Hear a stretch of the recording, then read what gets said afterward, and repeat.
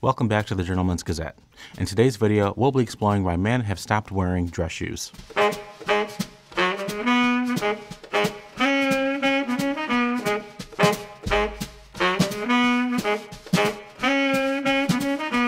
Here at the Gentleman's Gazette, we love thinking about all things to do with menswear, and we've previously pondered upon why hats are so rarely seen nowadays, as well as where the humble waistcoat has gone in recent years. And you can find those videos here. Now, during these thoughtful moments, we've spent a lot of time resembling the famous sculpture, The Thinker. And with all that staring at our feet, we had a light bulb moment. Why did men stop wearing dress shoes? In order to tackle that question, we need to take a look at the timeline of men's footwear. We've spoken about some in-depth points of footwear history in our exploration of Goodyear welted shoes.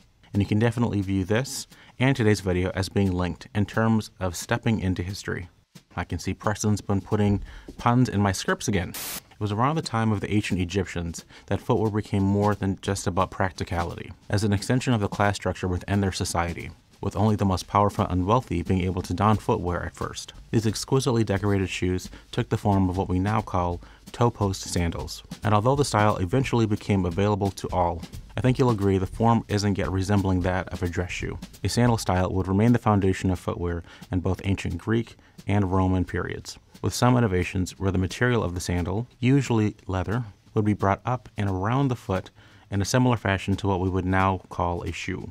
This was developed further in the Middle Ages, where a new technique of sewing the shoes inside out and then turning them out the right way became highly popular. These shoes were unsurprisingly called turned shoes, and the method is still in use today, notably for certain types of slippers. A specific style of turn shoe, called a poulaine, featured exaggeratedly long and pointed toes. These symbolized wealth and status. Basically, the longer the point, the better you were. Now I'm to just go ahead and skip over all the obvious jokes of what else the length might have represented and just say that it's the equivalent of a medieval Rolex. Status symbols, am I right? Now there's a revelation in the Renaissance period that may shock you. Men were the first to wear high heels, not women. In fact, the higher the better, much like the length of the toe on the poulaine before it, as we can see here on King Louis XIV.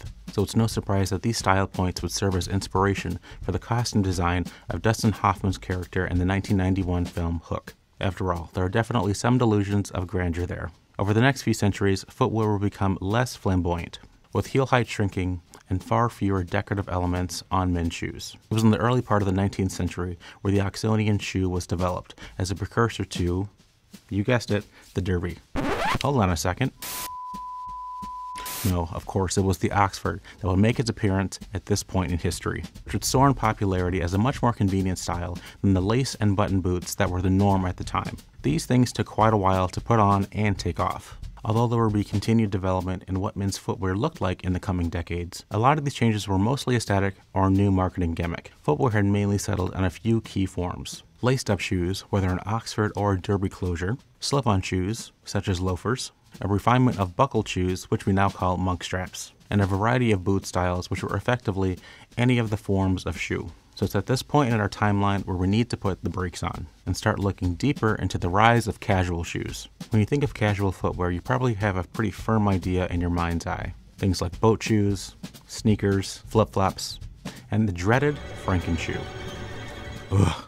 I've been in two videos with those Frankenshoes now. Sure, it's plain to see that when you put any of these examples next to a pair of dressy leather Oxfords, there's quite a difference in the levels of formality. But none of these shoe styles come out of nowhere. Like we've seen in our history of footwear so far, they are the product of time and development. And if you look closely, you can see that there's one element that ties all of these casual shoes together.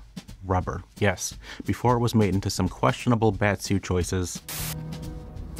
Ah, black rubber. Rubber was being developed and tested as a sole for shoes, with perhaps the most famous example being Converse sneakers which have been around since 1917. Of course, rubber had been used in footwear prior to this, with the Converse rubber shoe factory being set up almost a decade prior in 1908. But it's these rubber-soled all-star sneakers that really took the world by storm in the 20s after being endorsed by American basketball legend Charles Chuck Taylor as the first ever celebrity endorsed athletic shoe. Although we know now that these sneakers were here to stay. They were first reserved for sporting activities, and many continued to wear dress shoes a majority of the time but there's no denying a growing attraction to a youthful sporting lifestyle. Due to today's widespread availability of social media, were well aware of the impact that style influencers have, but it wasn't all that different in the 30s and 40s, as Hollywood heartthrobs and style icons would begin to dictate what was in vogue at the time. Who knew the birth of the influencer was much further back than the internet age? It's no secret that James Dean and Marlon Brando were monumental in changing the course of clothing. Starring as rebellious characters in 1950s films, the world was introduced to a different style of dress. Audiences were previously used to seeing their leading characters wearing suits, ties, and, you guessed it, dress shoes. But even though these new styles were a lot more casual in comparison to everyday dress, their footwear still looks more formal than the casual footwear of today. That is because the work boot style featured in these outfits are really just a beefed up version of a standard dress shoe,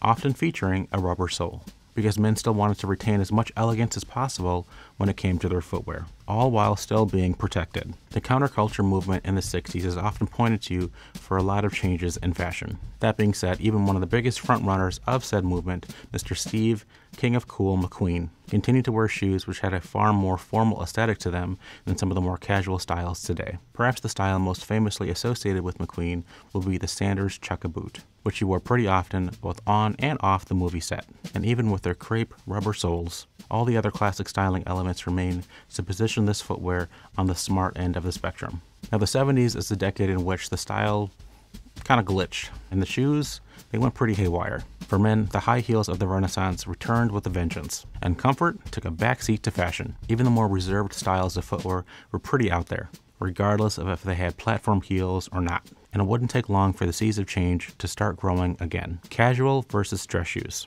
In 1973, German sneaker manufacturer Adidas signed a contract with Stan Smith, and the resulting legendary tennis shoes would serve as an antidote to the foot killing trends of the decade, thanks to their comfortable padded leather uppers, and of course, rubber soles. So it'd be easy to assume from here that the move towards soft sports shoes happened overnight. But the dress shoe put up a pretty stern fight. We can't deny that the casualization of menswear that started in the 60s and 70s really ramped up in the 80s and 90s. But what really happened was more of a divide between casual and formal styles. In the 80s, Wall Street was booming. And as we've seen in countless films, there were many young men hungry for wealth and power and maybe a certain hedonistic lifestyle. So even though the moral codes may have been sketchy, the dress codes certainly weren't. The suit moved away from the shiny, frilly, colorful excesses of the previous decades and became much more somber and serious. And the power suit of the 80s firmly made its mark. Footwear followed, and the extravagant styles of the 70s were gone,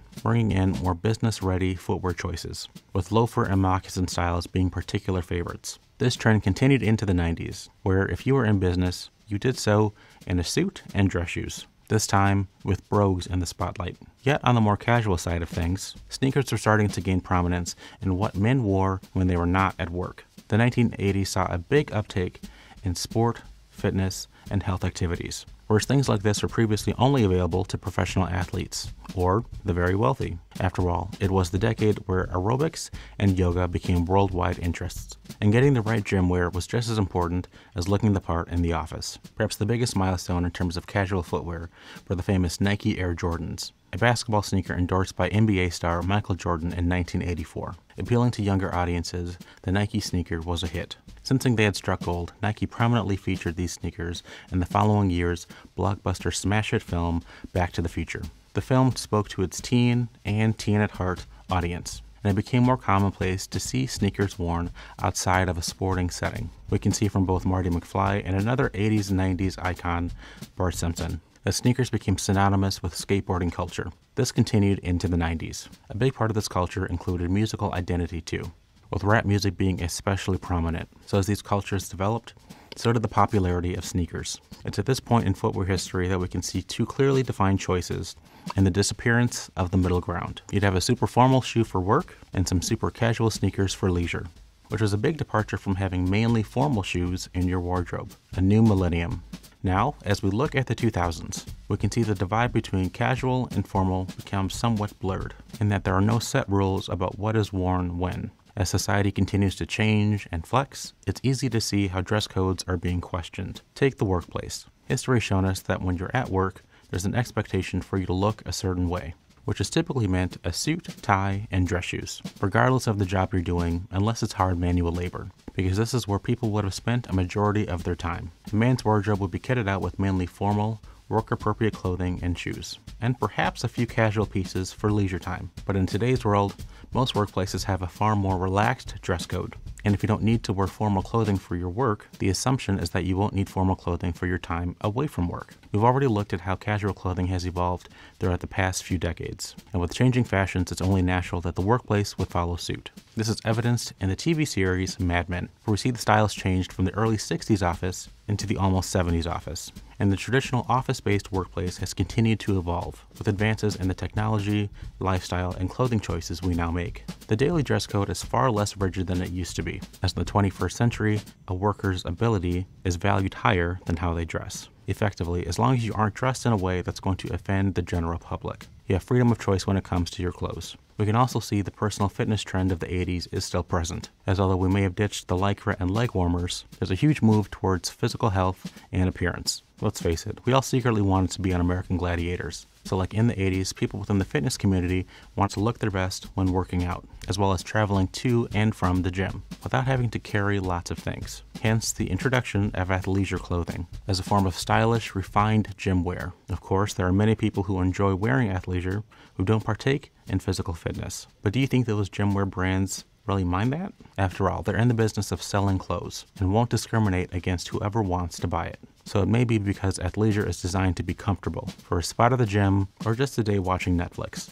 Or perhaps it's the continued celebrity endorsement that athletic clothing gains. Ultimately, there's no denying that sportswear has become acceptable streetwear too. The end of the dress shoe? So, what is it about a dress shoe that makes it less attractive in today's society? Because we have to be objective about this, right? First up, they typically have a much higher upfront cost than casual shoes. A quality dress shoe will be made of leather, requires greater time and skill to make, thus resulting in a larger ticket price than a typical sneaker might. Further to this, they require time and money beyond the initial purchase to help maintain them. Leather creams, polishes, and wooden shoe trees. These all come at a cost. You've also got to consider your time at shoe care routines as well, which can be especially tricky in an instant gratification age where our attention spans can be much shorter than they used to be. Dress shoes can also be uncomfortable at first and will require a little bit of time to break them in, which is another consideration. But before you've spent your time and money on a pair of dress shoes, the question is, do you even need a pair? After all, we know more offices are embracing casual styles. And if you work on a job where a uniform is provided, you'll have little to say about what you wear on your feet.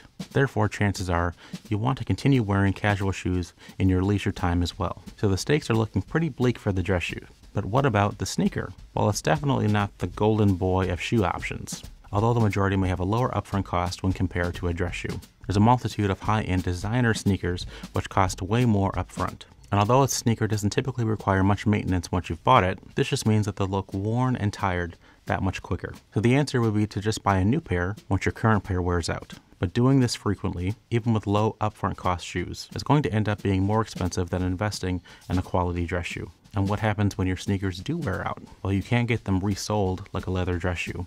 So they end up in a landfill. And because of the abundance of artificial materials that go into their manufacture, they won't decompose like natural fibers would. Ultimately, we'll conclude by saying that even though it might not be as everyday as it used to, the dress shoe isn't dead, as there's a whole host of menswear enthusiasts out there who enjoy classic quality footwear. If there's anything that you can take away from this video, is that your wardrobe has space for things on both ends of the spectrum. Because there's nothing worse than turning up to a wedding in your sneakers or taking a spin at the gym in your dress shoes. We hope by asking questions about menswear, we inspire healthy discussion about clothing. If you haven't already seen the other videos in this series, check them out and get involved into the discussion there too. So today I'm wearing a green cable knit sweater and a blue and white striped dress shirt with navy blue trousers, brown dress shoes, and brown Fort Belvedere socks. Check out the Fort Belvedere shop here for socks like these.